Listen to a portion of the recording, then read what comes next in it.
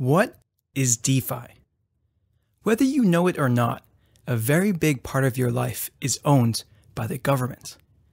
The fact that the money that you have in your pocket has value is the result of an intricate structure called a centralized finance system. The government controls the supply of money. They can print more money if they want to, and the value of your hard earned money deteriorates. They can stop you from borrowing money, and they can even stop you from transferring money. Or worse, if the bank fails, your deposited money could be in trouble. Quite a lot of risk, right? Now, decentralized finance, or DeFi for short, turns this concept upside down. When you have seen this video, you should be able to explain what DeFi is, even to your mom. You will know how it works, and most importantly, you will know how to take advantage of this money revolution. Now, make sure to watch until the very end, as I will also explain to you the most important risk factors related to DeFi that not everyone is aware of. And for the sake of transparency, this video is for informational purposes only, and no financial advice is provided. So, what is DeFi? The simplest way to understand DeFi is to distinguish it from the present financial system. The financial ecosystem that we are used to is centralized, with the governments, banks, insurance companies, stock exchanges, and other central institutions.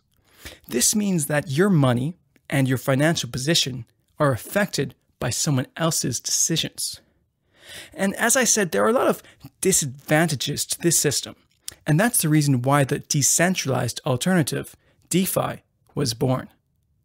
DeFi is an open and global financial system that gives you control over your money. So, how does it work? Decentralized finance essentially replaces intermediaries like banks or even governments and helps people to connect directly with each other. However, in the absence of intermediaries, there needs to be a system that ensures that the transactions between the parties are undertaken in the exact way that they are intended to.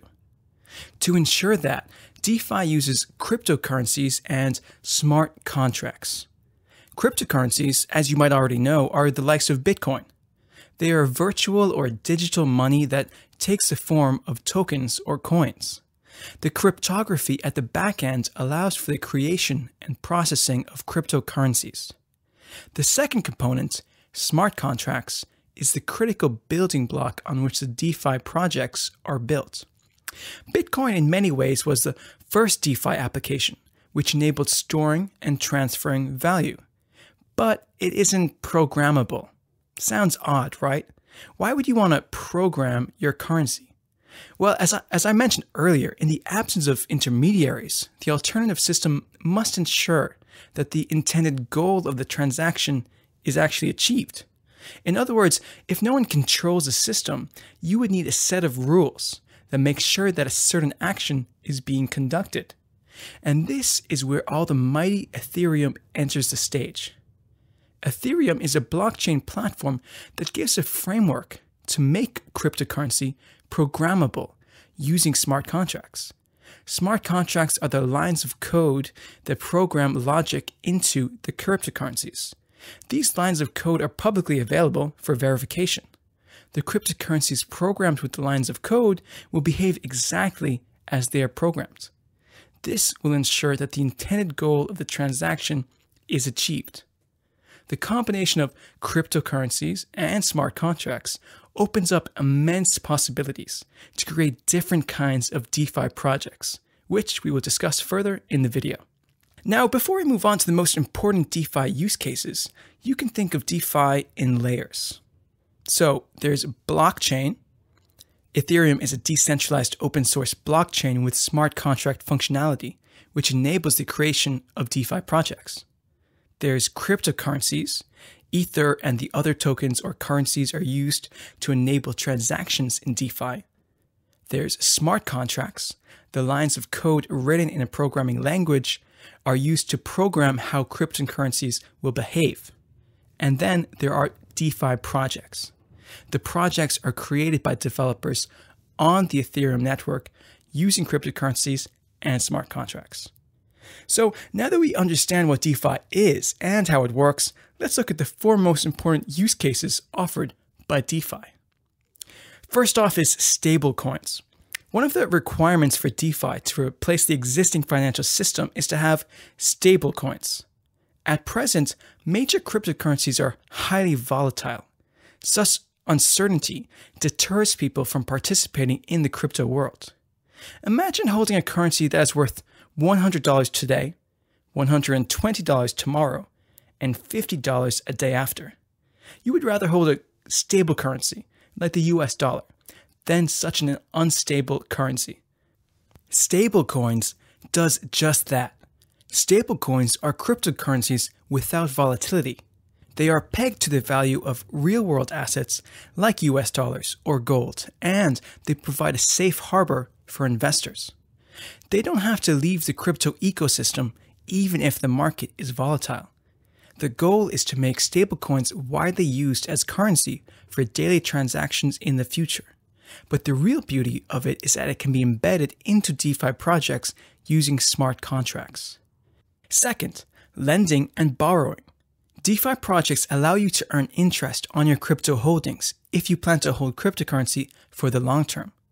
On the other hand, it allows you to borrow cryptocurrency without having to go through credit checks and without having to share your private information. This seems like an obvious risk for a lender. However, this risk is mitigated as the borrower needs to put up collateral for getting the loan. For example, let's meet two fictional characters, Mr. Investor and Mr. Trader. Mr. Investor believes that Ether is going to be valuable in the future and buys $1,000 worth of it. He doesn't intend to trade short term volatility, but plans to hold it for the long term. He realizes that it is a good idea to earn interest on it while he holds it. In this case, he uses a platform called Aave or Compound, both of which are DeFi projects that enable lending and borrowing to lend Ether. Mr. Trader holds stablecoins, USDC, worth $1,200, but he believes the price of Ether is going to increase in the short term. Instead of buying Ether directly, Mr. Trader puts up $1,200 worth USDC as collateral to borrow $1,000 worth of Ether from Mr. Investor. Say Mr. Trader carries out several trades in Ether and makes $1,100 worth of Ether. He pays back $1,000 worth of Ether plus interest to Mr. Investor and releases $1,200 worth of USDC back. In this case, borrower Mr. Trader didn't need to sell his USDC or invest additional money to buy Ether. He was able to earn from his short term trade of Ether without owning it. Lender, Mr. Investor, on the other hand, earned interest from his holding, while also benefiting from the appreciation in the value of Ether while he was at it. Okay, so let's move on to the third use case trading. Trading cryptocurrencies is a pretty important part of the DeFi ecosystem. It gives liquidity to the investors and traders of cryptocurrencies to buy and sell their holdings. The crypto exchanges connect you with people across the globe and open up opportunities for you to buy and sell thousands of cryptocurrencies. The crypto exchange can be a centralized exchange like Coinbase or Binance, which is managed by a company. However, DeFi projects like Uniswap provide an interesting alternative a decentralized exchange, or DEX. In a DEX, a group of investors creates a liquidity pool of cryptocurrencies, which is available to traders to buy and sell for a fee. If you're an investor in DEX, you can invest your crypto holdings in the liquidity pool and you'll receive a fee from the traders for carrying out a transaction on DEX. If you're a trader, you pay a fee to the investors of the liquidity pool for carrying out a trade. There is no central company or human involved to manage the exchange. The smart contracts running on the DEX ensures that the intended transactions of buying, selling, and fee payments are carried out as intended. Now, the last important use case is insurance. The decentralized alternative of insurance uses the power of blockchain so people can share risk without the need for an insurance company. Nexus Mutual is a DeFi project that gives insurance cover against the failure of smart contracts and exchange hacks. Since the decentralized applications are at a nascent stage, they are prone to the risk of having bugs in the smart contracts or hacking. Nexus Mutual, which provides insurance for these risks, is run entirely by its members. Only members can decide which claims are valid. All member decisions are recorded and enforced by smart contracts on the Ethereum public blockchain. You can purchase coverage on Nexus Mutual as well as participate in claims assessment, underwriting, and governance. Now, before I present the three most important risk factors you should be aware of, please hit the like button and subscribe if you find this video valuable in any way. Okay, so in my opinion, you should be aware of the following risks before committing any money to any DeFi project. Number one, stablecoins are by their very nature vulnerable. They're made to hit a predetermined face value with a variety of reserve assets. Stablecoins that rely on computational procedures to preserve their value are vulnerable to market forces, operational breakdowns, and other risks. In other words, even if stablecoins are looked upon as safe harbors, they can still fail. Number two, though DeFi smart contracts are open source, they are not easy to read for the general public like you and me. Currently, there's a need to trust the more technical members of the Ethereum community who can read code. The open source based community helps keep developers in check, but this need will diminish over time as smart contracts become easier to read and other ways to prove the trustworthiness of code are developed. Number three, DeFi projects are still at the infancy stage and are now focused mostly on crypto asset speculation, investment, and arbitrage rather than real world use cases. DeFi is vulnerable to criminal activity and market manipulation because of the insufficient implementation of anti money laundering, know your customer rules, as well as transaction anonymity. And the final and fourth risk factor is this Imagine standing on a rug with all the trust in the world, and someone pulls it off from under you with sudden force.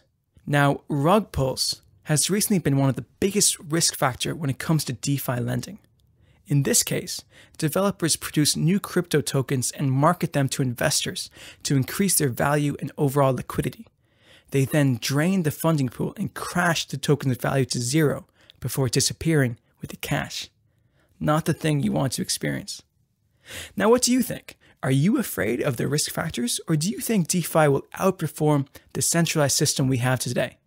I'd like to hear your thoughts in the comment section below. If you enjoyed this video, please hit the like button to show your appreciation for our efforts and consider subscribing to Crypto Skills so you don't miss our next bite-sized explainer video on crypto. I'll see you in the next video. Take care.